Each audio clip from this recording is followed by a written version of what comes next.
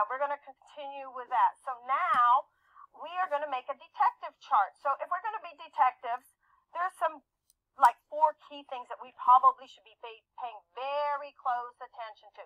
So what are the and I need you to write this in your math journal so you have it as you're doing your detective work. So what are some of the four the four most important things we should be looking at when we're analyzing our data because we're going to have to make sure we get it to the correct graph. What would be the four most important things we need to look at? Matthew. The title is pretty important. I'm going to put title up here, but I want to put four things underneath there. What should that be? The scale. The scale.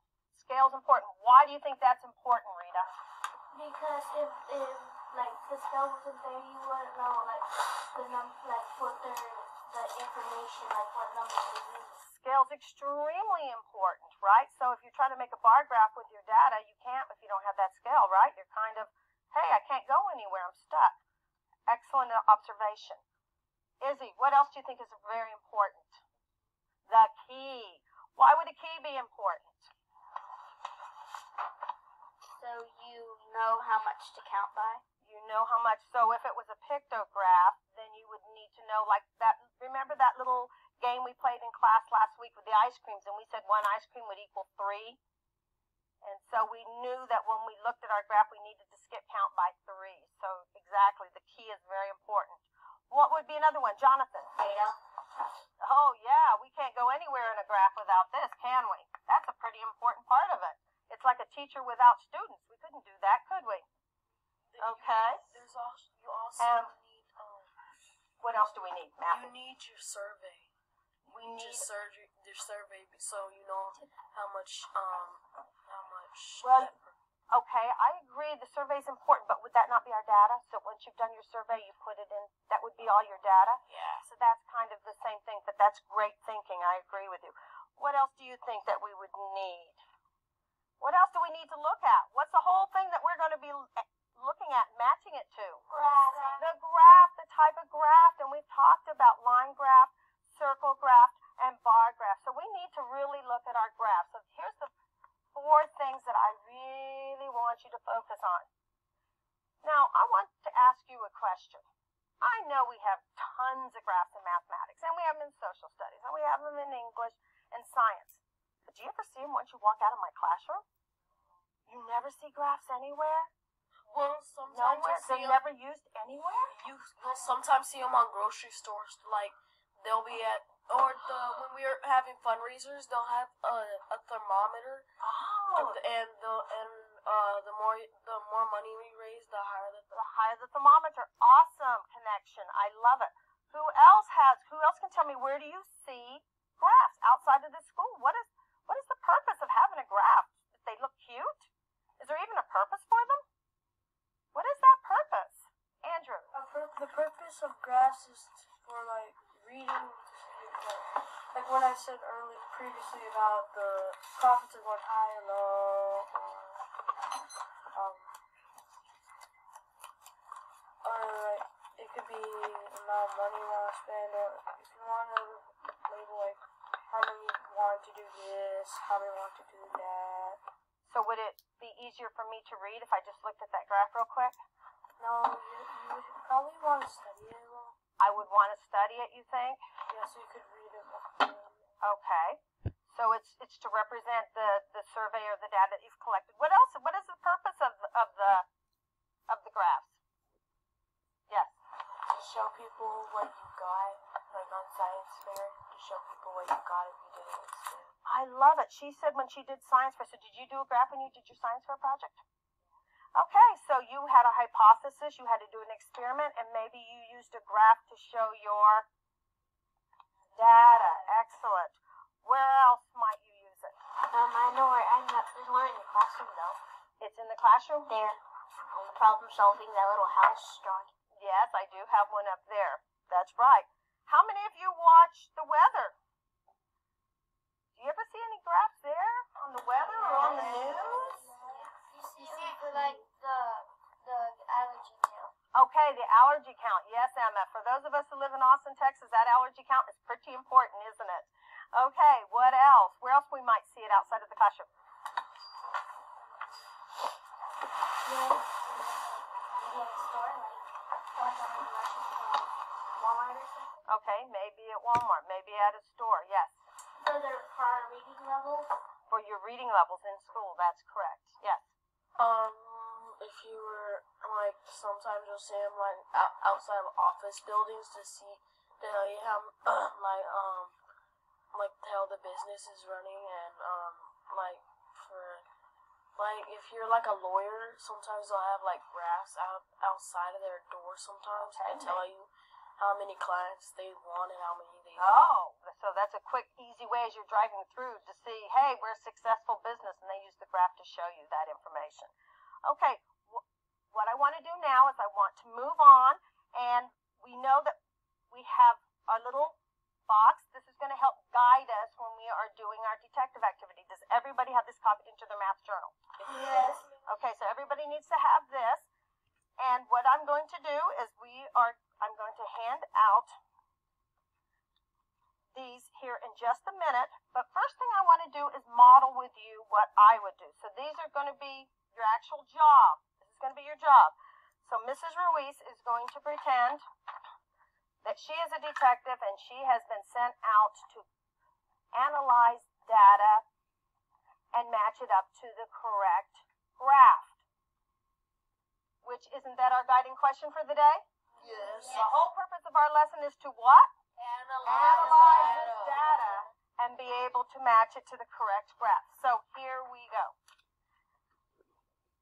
So my question, my problem here says a school is registering students for different activities, and the tally chart shows the number of students who have registered for each activity in the last three hours. So I see my title is activity registration, and I notice my title matches on all the graphs down below. So y'all can see it. And they've used tally marks. And we talked about that before, right? When we were taking surveys that we can use tally marks. So they have four activities here soccer, volleyball, basketball, softball. So I'm looking at scale because we all made our little chart that's going to help us. So my scale, and let's see, over here my scale is counting by twos. Over here it's different. They don't have a scale on this this particular one. They have a key, and every little dot represents what? Two. Two. So that's pretty important for me to pay attention to, right? Then this down here is a chart with information, and here's a bar graph, and it's counting by twos. So I've looked at my key, I've looked at my scale, I'm looking at my graphs. I have a line graph, I have a bar graph. I don't have a circle graph on this one, but some of the ones in your package will. So now I need to use my detective skills and see if I can figure out which graph this information is correctly represented in. So I'm looking at soccer and I say soccer has how many tally marks, boys and girls? Eight. Eight. Awesome. So I'm going to go over here and I'm going to look at this one. In soccer, eight. Is that correct? Okay, well, let's look over here. Soccer, should I count by ones? No, two. No, by two. Or you can see how many. So two, four, six, eight. So is this correct? Yes. How about down here? Yes. And how about here? Yes. So soccer looks good. So I can move on, right? Let's look at the next activity, volleyball. How many tally marks are in there? Ten. Ten. So let's find volleyball and go up here to my line graph. What does it say? Wow. Is that correct? No. Whoa, good thing I'm looking at that data. So I think that this pers- this graph must not be the graph I'm looking for because already I'm finding a mistake, right? At the next one. Let's count. Count with me. Two, four, six, eight, ten. Is that correct? No. Yes. Oh, yes. Let's look back. Okay, it's okay because sometimes we say we're not sure. So let's look back in our data. How much did we have up here? Ten. Ten. How much do we have here? Ten. Okay, so are we good? Yes. Awesome. Let's go to the next one. So now I'm looking down here and I'm saying volleyball 10. Is that correct? Yes. So I'm good there too. And how about here? 10. Okay, so I'm going to continue on my detective uh, mission. Yeah, my job, my mission, my detective mission. So next I'm looking at basketball. How many tally marks, boys and girls? Four. Four. So let's see. Basketball, I look across the bottom. How many are there? Four. Oh, am I supposed to be looking at this chart? No. Why not? Because it's out. It's already crossed out. And when we are detectives, do we have to be able to justify why we chose what we chose? Yes. Yes, we do, because our bosses say, well, if you were a detective and say, this is the person that committed the crime, they're say, well, what evidence do you have? Do you have to have evidence? Yes. Yes, and the same thing here. You're going to need evidence to prove to me that you've got the right chart. So we know we're not looking at this one anymore. Basketball, how many? Count with me. Two, four, this the one? No. So I guess I've eliminated that one also, correct? Yes. How about here? No. No. Why not? Because it says five. five. It says five, not four. Let's go to the next one. Basketball. Four. Yes. Four. So I have eliminated choice A, correct? Yes. Have I eliminated choice B? Yes. Have I eliminated choice C?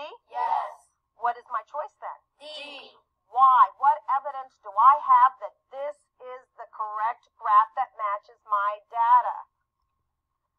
Uh, Justin. Because um, they don't uh, accurately reflect the data up there onto the chart. I love your wording. It does not accurately. Say it again. I can't even say it as well as you did. Doesn't accurately reflect data. Reflect. I love it. It does not accurately reflect the data that's up in the chart. But he could go back and say, I know this is one because soccer had how many? Eight. Sorry. Oh, you're right. You can't. Soccer had eight. Volleyball had ten. Basketball had four, and softball had twelve. Twelve. Have I justified my answer? Yes. Have I given evidence? Yes. Am I a great detective? Yes. Are you going to be a great detective? Yes. Maybe. No maybes about it. You're going to knock your socks off of it. Okay. Materials person, would you please come get the materials for your table? Your materials person? There you go. Materials. Oh, yes. Would you? That would be fabulous. Thank you. Materials person, materials person. No, you can't close your journal. You need your journal. That's all right. Don't worry about that one. Now, do you have your materials? Please don't start yet. Let Miss Ruiz give you directions very quickly. Put them face down on the table. Everybody face down. Put the put your detective charts face down. Listen to my directions and then I'm gonna let you go. Well, I'm gonna explain to you what you're going to do. Put them face down. Okay, one, two, three, eyes on me. One, two, eyes on you. Awesome. Thank you. Here is what you are going to do. Miss Ruiz just modeled for you what it looks like. You are going to work with your table group. Everybody has a job. The reader's going to read the problem. The materials person already came and got the materials task master. You're going to make sure everybody stays on task and that everybody's participating. Scribe, you're writing down the evidence in the journal, in your math journal. Write down the evidence that you are finding. Okay? If you get done, now one of these is the one I just modeled for you, so you don't do that one, but the other three you can do. If you get done early, your challenge is to make up questions for other teams. We will, probably won't have time today to play them, but we'll play them sometime this week. So your challenge could be, you know, looking at it and say, um, how many more people bought rap music than bought country music? But make up some of your own challenge questions, okay? So there's a challenge there for you. You are going to get 10 minutes. If you get through them all, fabulous. If you don't, that's okay. Doesn't matter. It's more about the activity and what you're learning from it than getting finished. That's not the purpose. Any questions about what you will be doing? Panesius. That's a great question. What if the task keeper is I think that your other people remind you, but you guys are fabulous about that. Any other questions?